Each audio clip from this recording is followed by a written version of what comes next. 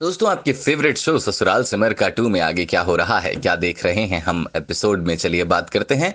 नमस्कार, आप देख रहे हैं बॉलीवुड स्पाई दोस्तों एपिसोड में हम देखते हैं गिरिराज फूट फूट कर रोता है और फेक ड्रामा करता है और कहता है, भाई साहब की साँसें रुक गई हैं। आगे दोस्तों, बड़ी माँ को सदमा पहुँचता है और वो कहती हैं, तुम हमारी हिम्मत हो गजेंद्र। आगे दोस्तों डॉक्टर भी कह देता है कि गजेंद्र जी की पल्स नहीं मिल रही है और वो सॉरी कहता है। पर सिमर कहती है, आप ऐसे हार नहीं मान सकते। आप कुछ करिए। आगे दोस्तों, आरव बहुत रोता है और सिमर उसे हौसला देती है। हम देखते हैं, गिरिराज चित्रा को बताता है कि किस तरह उसने गजेंद्र पर गोली चलाई और अब ओसवाल मेंशन हमारा हुआ।